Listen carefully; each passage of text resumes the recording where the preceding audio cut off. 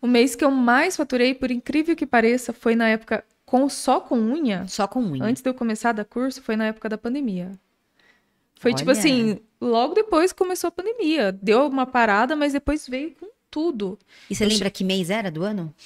Ah, eu não lembro se era abril ou maio. É, a pandemia começou em março. É, eu não mesmo. lembro se. Foi por aí, ela deu. Aí, tipo, as clientes ficaram um pouco com medo e depois elas De falaram. repente voltaram. E quanto você fez nesse mês, você lembra? Nesse mês, em duas semanas, eu. Nesse mês, em du- no final do mês, eu lembro que tinha dado 12 mil reais. Caraca, que delícia. 12 mil reais. Só que sem respirar. Mas trabalhou Entende? bastante e ganhou. Mas faturei, hein?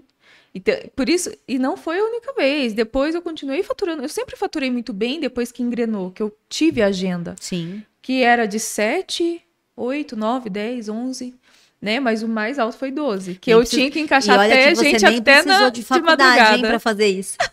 é, Pois é, é, quem diria, né? quem diria? E você, é, hoje com os cursos, a sua renda maior dos cursos? Isso, minha renda maior vem dos cursos, né? Mas assim, não é uma coisa que eu não quero focar. Eu Tá. não quero focar só nos cursos. Quero continuar trabalhando, mas eu, eu gosto de atendimento, gente. Então, assim, Dá pra perceber eu tô isso, trabalhando nos inclusive. dois, sabe?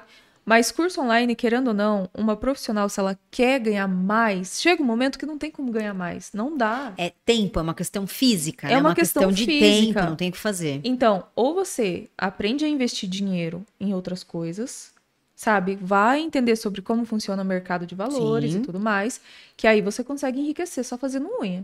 Tá. Senão, você aprende a investir, estuda sobre isso, É. ou você monta uma loja, né? Mas tem que saber administrar, ou você começa a dar curso.